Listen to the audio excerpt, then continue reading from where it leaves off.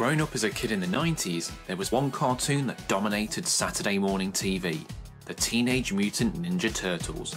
I still have the theme stuck in my head.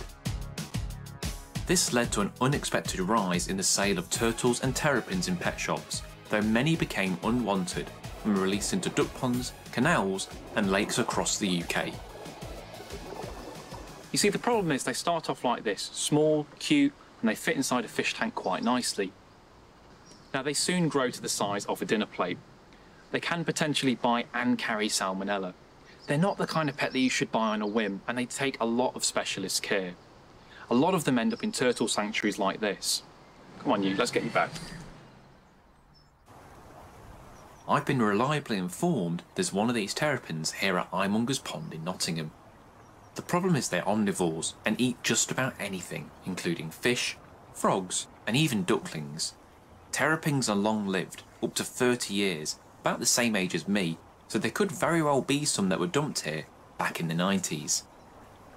So I found a nice quiet corner of the lake. Now conditions are not ideal today, you want lots of sun to get them out basking. However, we're still going to give it a go.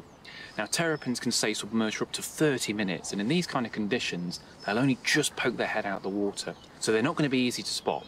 But let's give it a go, hopefully we can find them.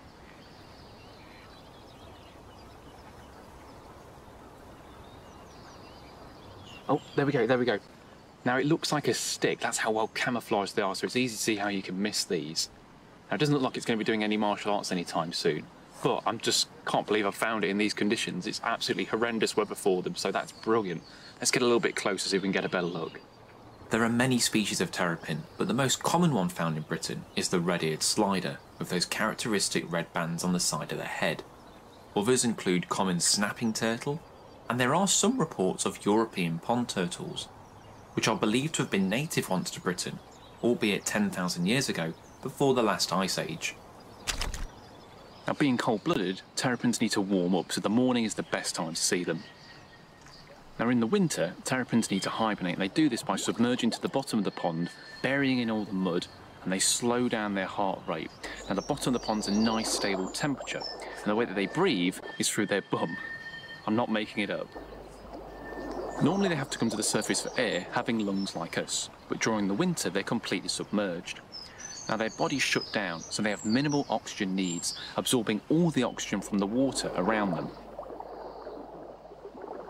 Now, I know they shouldn't be here, but I can't help but feeling a little bit nostalgic, seeing this old warrior knocking about. They're incredibly hard to catch, a bit like a ninja. So for the time being, this terrapin is here to stay.